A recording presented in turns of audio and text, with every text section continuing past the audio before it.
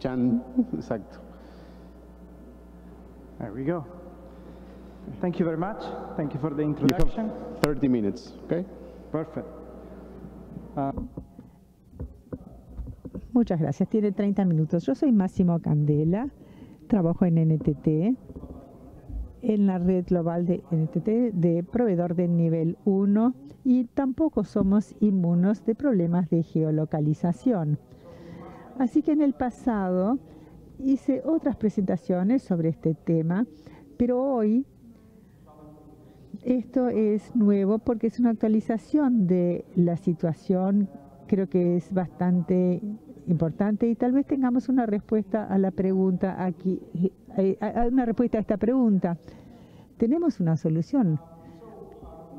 De manera que comencé, esta conversación comenzó hace más o menos un año y medio, hace un año y medio, cuando junto con otras personas inteligentes de nuestra comunidad, escribimos esta RPC 992 para tratar temas de geolocalización.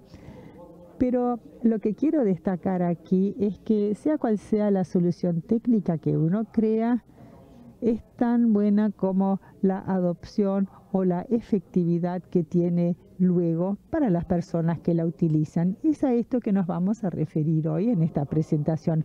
Pero comencemos desde el inicio. La geolocalización de IP es fundamental. Queremos saber el país o la ciudad de donde se origina. ¿Y por qué quiero hacerlo?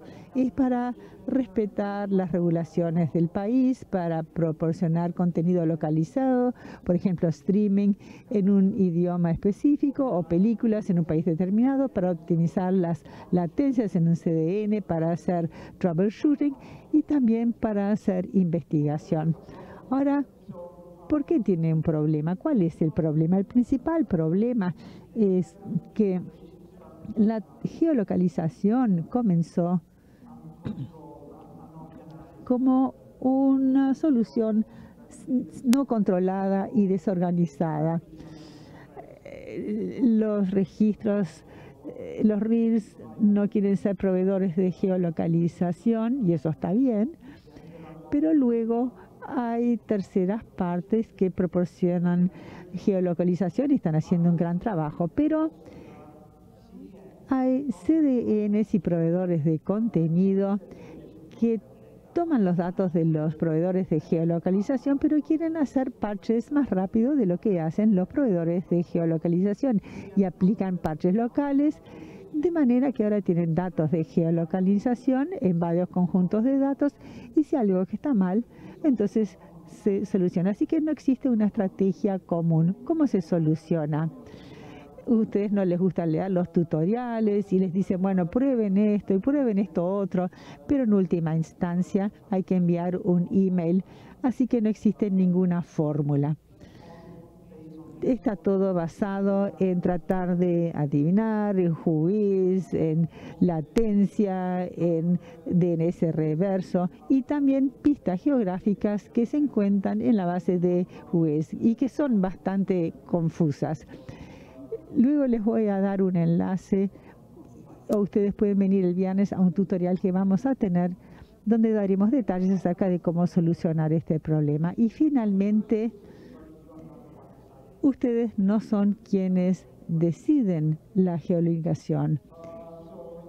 De manera que en términos generales, ustedes se comunican con los proveedores de geolocalización por email. En Nanoc hice esta verificación hace un mes. Había 241 emails relativos a la geolocalización. Y en las últimas semanas vinieron algunos más. Así que es algo que ocurre con bastante frecuencia. De manera que queremos tener una forma de controlar la geolocalización de IP. Creo proporcionar la información de mis prefijos. Quiero ser flexible por ejemplo, no quiero, solo quiero algunos prefijos específicos o IPs o quiero geolocalizar este barra 12 de Italia, este barra 24 dentro de ese barra 12 en Roma, de manera más específica. Así que quiero tener esa flexibilidad a nivel de país, a nivel de ciudad o lo que quisiera. Y también quiero que sea fácil de mantener. Por ejemplo, algo como un archivo. Si uno edita un archivo, lo mantengo, mantengo actualizado y con eso se soluciona. Y no quiero ir al puerto de RID y no quiero ir al juez cada vez. Porque en una organización mediana o grande, no todo el mundo tiene acceso. Así que quiero tener un archivo sobre el cual puedo trabajar y ese archivo de manera automática es distribuido. Y por supuesto no correos electrónicos. Por lo tanto, la solución es RFC 9092. Básicamente, lo que queremos hacer y lo que hicimos con esto es darle poder a los operadores para que expresen eh, tener la capacidad de controlar la geolocalización de sus recursos de IP con un enlace a eh, los archivos de GeoFeed en Whois. Entonces, una vez que está enlazado, ustedes gestionan ese archivo, lo continúan gestionando. Y esto no solo permite tenerlos indexados, o sea, se puede obtener de manera automática sin email, sino que también tienen una manera, de manera segura, validar la propiedad. En una época no se hacía, o bien no se hacía de manera correcta, o verificaba el dominio del email y tenía la información, etcétera. De manera que esto es como una funcionalidad y una flexibilidad que también proporcionan seguridad. ¿Y cómo funciona? Se crea un archivo CSV, que es un archivo de texto en este formato, que es como un prefijo, coma, código país, ISO, código país, región, también con códigos ISO y después un nombre de una ciudad. Luego se publica ese archivo CSV en alguna parte, posiblemente sobre HTTPS, y luego se va a buscar el comentario a ese prefijo relacionado. Y el inetnum es un compendio de esos prefijos del archivo. Luego buscan ese archivo y agregan el comentario en este formato. Geofeed, espacio, nombre de archivo, etc. Este es un ejemplo del archivo Geofeed. Como pueden observar, pueden incluir muchos prefijos en el mismo archivo, pueden proporcionar el nivel que quieran de flexibilidad. Y este es un ejemplo acerca de cómo se puede agregar a MILACNIC. Ustedes encuentran el INANUM y ven el comentario y agregan este string al archivo. Esto es lo que ustedes pueden ver si hacen juiz en uno de los IPs de ustedes. Pueden ver esto aquí, que es la URL del archivo que menciona ese comentario y entonces el proveedor de geolocalización también podrá verlo. Ahora, no se olviden que tener el link del INETNUM, porque es de donde viene la validación. Entonces, si uno busca el archivo, solo tiene que leer aquellos prefijos, prefijos que tienen el INETNUM de donde procede. O sea, si ustedes pudieron escribir el INETNUM, entonces se puede leer esta información. No se olviden de ponerlo o bien pueden utilizar una herramienta. Esto es muy nuevo, es aún mejor. Y si encuentran algún problema cuando lo están tratando de usarlo, esto fue implementado hace un par de horas y por eso tiene un globito aquí, porque es algo nuevo. Ustedes pueden ingresar a esta packetviz.com barra geofeed. No es un servicio de NTT, y esto simplifica todo el proceso. Pueden hacer clic en el icono de GeoFit, pueden insertar su prefijo y los dirige al lugar donde insertan la geolocalización que ustedes quieren, valida el código ISO y toda la información, porque en el momento hay como un 5% de geofeeds que no están bien configurados. Esto le permitirá escribir códigos o cosas que tal vez no existan. Then after you write Luego, después, una vez que han, lo han eh, geolocalizado, van al próximo paso y aquí les dice qué comentario tienen eh, que agregar, eh, que editar, editan ese comentario y les dice exactamente cuál es el link que pueden agregar. O sea que automáticamente esta herramienta ah, genera los ah, ah, el archivo y pero si ustedes lo quieren alojar ustedes tienen este, este switch abajo y allí lo utilizan. Entonces guardan y lo prueban. Si tienen esto verde aquí abajo entonces quiere decir eh, que el geofeed está listo para, eh, para ir y lo pueden usar. Y si no les dice cuál es el problema si está si está mal eh, la URL no pueden encontrar el archivo lo que sea. Pero si todo está en verde está terminado la geolocalización, el, proveedor de la local- geolocalización, la mayoría de ellos lo van a poder conseguir y se les arregla de alguna manera la geolocalización. El próximo paso, que es opcional, si quieren hacerlo, ustedes pueden ir y ver cuál es el estado de en todos los proveedores de geolocalización y les dice también cuáles lo van a ir a buscar automáticamente y cuáles van necesitan un correo electrónico y semanalmente mandamos estos eh, correos electrónicos de ser necesario. Pero además es bueno ir y verificar cuál es el estado actual del recurso y cuándo se va a arreglar, cuando se arregle, entonces todos se ponen verdes y entonces ya con eso están listos y con eso terminan. Entonces ahora va- vamos a la parte de adopción. Entonces, esto está todo muy bonito, pero nosotros estamos leyendo estos geofeeds y cuáles son los... Bueno, hay otra página que es geolocatematch.com que nosotros hicimos para crear conciencia sobre esto y también para dar cifras. Y esta captura de pantalla se hizo hace un poco más de un mes.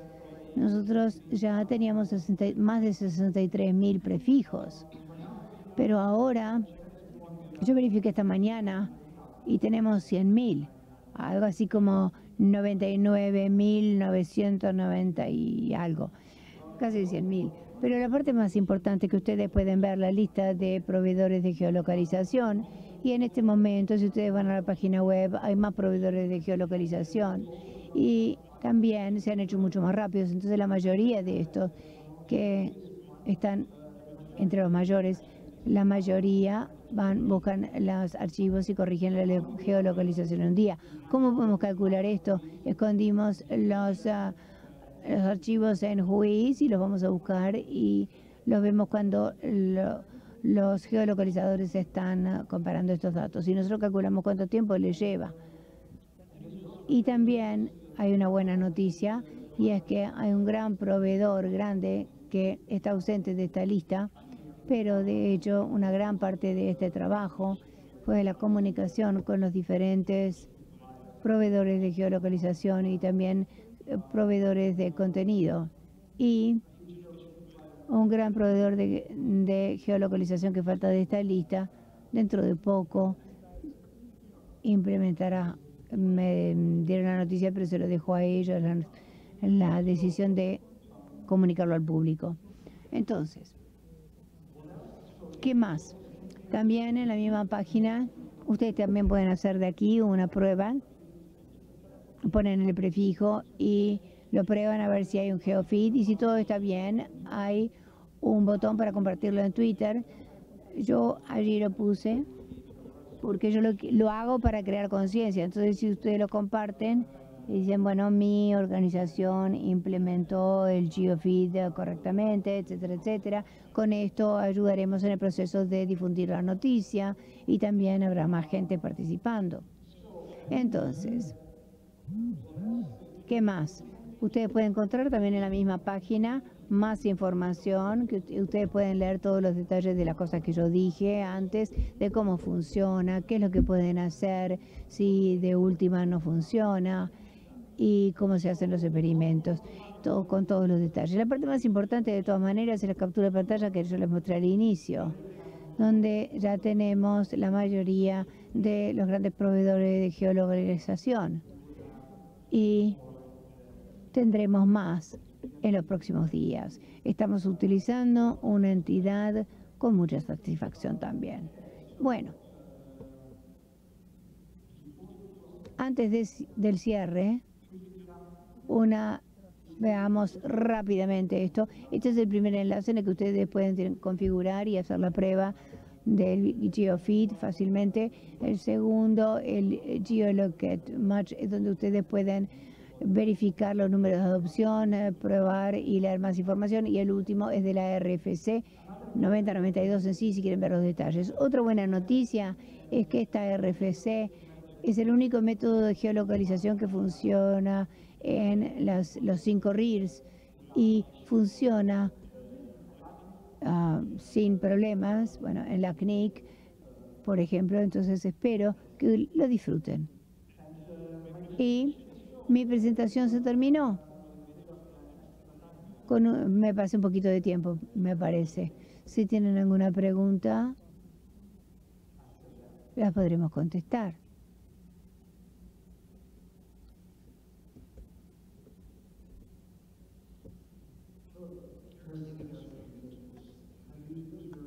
¿Han observado algún aumento de latencia de los proveedores de juiz? Es decir, se puede escalar que más de simplemente los proveedores de geolocalización utilicen estas pistas. Perdón, ¿podría repetir el principio de la pregunta? ¿Hasta qué punto se puede escalar, utilizar el juiz para la distribución del servicio? Tal vez sería mejor con DNS u otro protocolo. Bueno, sí, juiz es la mejor opción. Esto es algo que se analizó en diferentes casos en eh, IETF. Esta es la mejor opción por varias razones. Lo primero es porque juiz es la fuente de última. Cada vez que ustedes buscan información siempre van a juiz y el tener esa conexión también le puede permitir fácilmente validar la propiedad. Es el primer paso. ¿Hasta qué punto es escalable? Es sorprendente, porque juiz está en todos los RIRS mm, y dan estos dumps, estos archivos y donde allí pueden encontrar todos los geofeeds. Hay una herramienta que se llama GeoFeed Finder que yo eh, creé, donde ustedes pueden, se usan los cinco RIRs y eh, es eh, de código abierto, se puede bajar en, en línea y automáticamente les maneja todo, encontrar los archivos de GeoFeed, les dice quién es el dueño y les da a ustedes un único archivo con todas las validaciones. Y ahora no está en la luz, pero en la página de ustedes pueden poner el link abajo y esos son todos los geofeeds en todo internet en los cinco RIRs ya validados.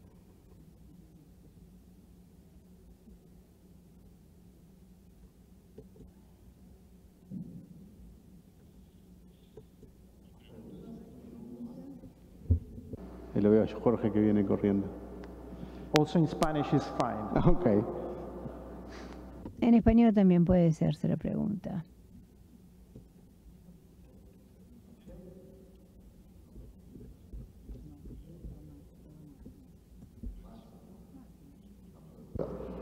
¿Y qué pasa si alguien pone información maliciosa en ese archivo texto? O sea, ¿cómo, cómo controlas quién pone?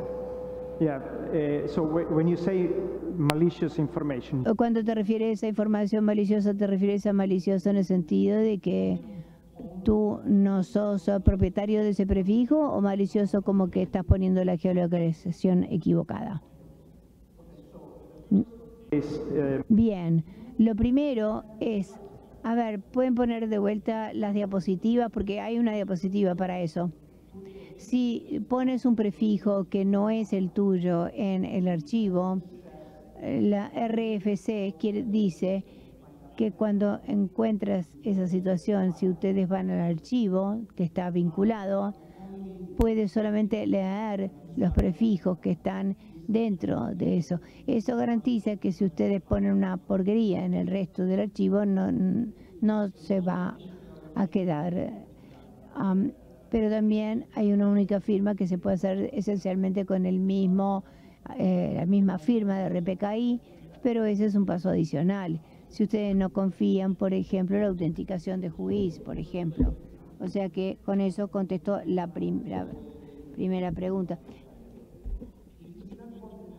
Si quieren poner la am, información errónea, no le permite ponerlo. Ustedes pueden escribir lo que sea, no hay manera de verificarlo, pero los proveedores de geolocalización eh, toman e- ese archivo y pueden decir, bueno, ellos pueden intentar verificar, hacer algún tipo de verificación.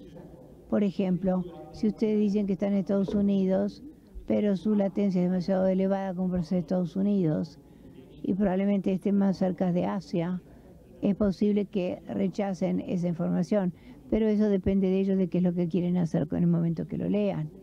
Pero no hay una manera física de impedirlo. Muy bien, muchas gracias.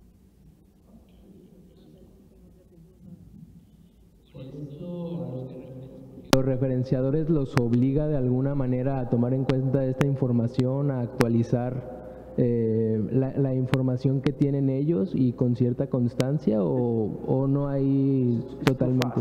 De- Despacito. Perdón. Esto que, que expones ahorita de, de GeoFit y el RFC eh, obliga de alguna manera a los geolocalizadores, eh, los principales o en general, a actualizar sus, sus bases de datos o, o es sencillamente a, a criterio, a disponibilidad. Eh, you mean to read it, when you read it. Eh, ¿Quieres decir cuando lo lees? Cualquiera puede leer esa información y crear su propio. No sé si te entiendo bien la pregunta. Cualquiera lo puede, puede usar y leer y ustedes pueden bajar, es descargar ese archivo, no solamente los proveedores de geolocalización. ¿Esa es la pregunta? Sí. No, si los, los proveedores de, de UAP o quienes administran estos sitios están obligados de alguna manera a prestar atención a esta información y en base a eso actualizar sus bases de datos o, o no, no hay obligación en cuanto a esto por parte I de need help with the question. Gracias. Si, si existe alguna obligación con esto, con, con esta información que se va a proveer ahora, si obliga de alguna manera a los administradores de, las páginas de georreferenciación o de UIP a actualizar sus bases de datos o a hacer modificaciones en cuanto a cómo tienen georreferenciado cierto segmento IP o, o no los obliga a nada. Te voy a preguntar yo a ver si te entendí bien y después traduzco. Vos decís si este RFC genera algún tipo de obligación a los proveedores de geolocalización para que actualicen sus bases de datos que eventualmente pudieran estar erradas. So, so the question goes as. Uh, La pregunta es si esta RFC crea alguna, hace obligatorio que los proveedores de geolocalización corrijan eh, sus bases de datos para que las corrijan. No, es imposible crear ningún mandato para nadie. O sea que si a ellos les interesa tener esos datos porque ellos quieren tener mejores datos, para ellos es más barato leerlo de ustedes. Entonces, básicamente, ya ellos dan soporte al formato de archivo y simplemente irlo a buscar automáticamente para ellos es bueno. A ellos todo les gusta eso. Pero es imposible crear ninguna obligación de que tengan que arreglarlo, incluso si la RFC diga que tienen que hacerlo, que no tendría sentido, no hay ninguna ah, manera de obligarlos a hacerlo. Pero en la práctica les interesa hacerlos, entonces en general en el mismo día ellos lo arreglan porque es algo que es por su propio interés, especialmente si el otro la competencia lo hace. Entonces ustedes ahora lo tienen que hacer para también hacerse más ágiles.